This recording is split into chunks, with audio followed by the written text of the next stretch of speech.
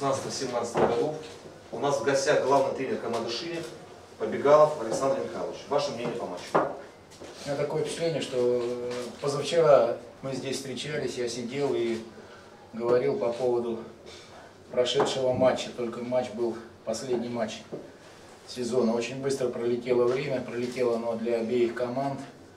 Э, Я это называю безвременем, потому что в таких условиях, какие поставлены многие клубы по финансовым, по, чисто по календарным, по временным отрезкам, э, с, тако- с таким количеством переходом, мы, по-моему, сейчас начали соревноваться э, с хоккеем. Я, знаете, так иногда заглядываю на КХЛ. Э, Начинается сезон, таблица трансферных переходов по 20, по 25 фамилий. И вот э, если вы откроете на One Division или в Голиаде, откроете э, трансферную таблицу, то команды ФНЛ то же самое. Можно насчитать у некоторых команд по 20 футболистов. А времени на подготовку, на притирку самый мизер. Поэтому сыроваты команды выглядят э, во многих компонентах. Просто это не успеть. И мы сегодня с Балтикой были в равных условиях. Э, У Балтики тоже очень много новичков. Но Балтика, вернее Балтика нам предоставила, или мы создали эти моменты. Мы не смогли их реализовать, а Балтика нашу секундную потерю концентрации наказала забитым мячом. Отсюда и последующее содержание игры, в котором, в принципе, мы имели определенное преимущество – моменты, ну, не смогли забить. Где не хватило мастерства, где спешка, это тоже понятие мастерства. В общем, работать, работать и работать. Я то, что увидел, но то, что есть много позитивных моментов у этих молодых ребят, это то же самое я увидел. Поэтому, конечно, обидно проигрывать в первой игре, но есть от чего оттолкнуться. Коллеги, вопросы? Александр Михайлович, ну как вам вся эта история? Вот, там, одни команды расформировали, другие вернулись.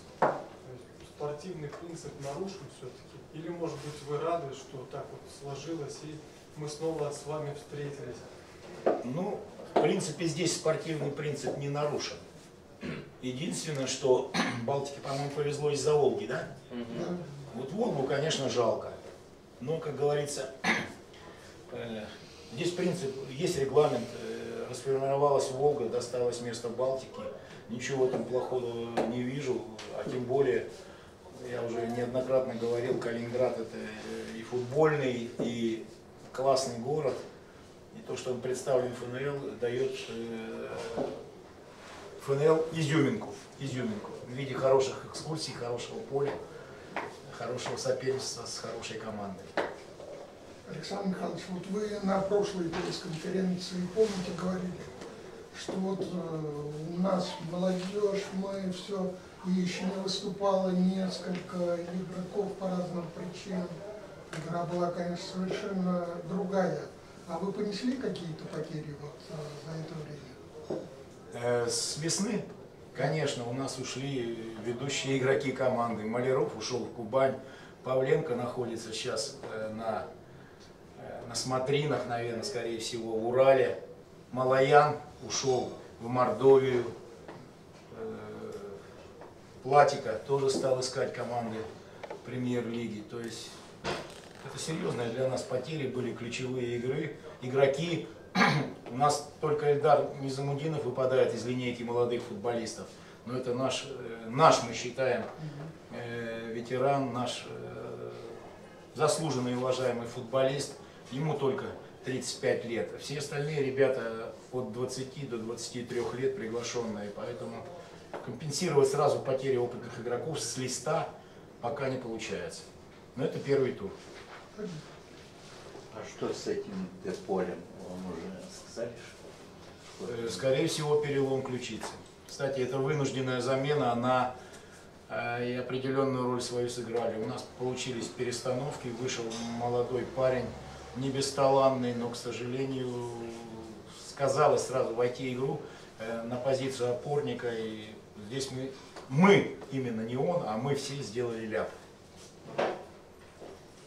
При ауте, при стандартном положении. Александр Михайлович, а объясните, что там за ситуация у вас с запретом на регистрацию игроков? Пишут, что сейчас вообще любой клуб может подать там, протест, и вам засчитают техническое поражение. Ну, во-первых, надо разобраться, кто пишет. Кто пишет и зачем это пишет. Это один момент. Э, Наш генеральный директор Валерий Петрович Фролов уже говорил абсолютно грамотно, что все было нами сделано по закону. Э, Вообще, надо этот неснимаемый так называемый запрет убирать из регламента. Надо просто посмотреть вокруг себя, где мы живем, в какой стране, в какой экономической ситуации живут клубы. Это принималось тогда, когда вроде бы всем казалось, будет сплошной шоколад. Сейчас одни горькие пилюли у половины клубов, а не шоколад. Поэтому мы выполнили все условия, которые э, необходимо было выполнить для снятия этого запрета. Мы прошли лицензирование в два этапа. И перед игроком, который нас э, просил наказать, выполнили все условия. И он после этого добровольно, добровольно э, написал о том, чтобы просит снять этот запрет. Выслушав все наши аргументы, а их было приведено очень много, и документальных причем, не на словах, палата абсолютно справедлива, Лю- люди, э, взыграл коллективный разум, так вами называемые спортивные принципы, приняли абсолютно правильное решение. И вдруг откуда-то вылезает другой спортивный юрист, пишет на всю страну, пытается нас э, убедить в том, что нас накажут. Это не, не иначе, как юридические войны. Больше я не назову. Еще есть вопросы? Большое спасибо. Удачи в дальнейшем. Вас с победой! Спасибо. Желаю.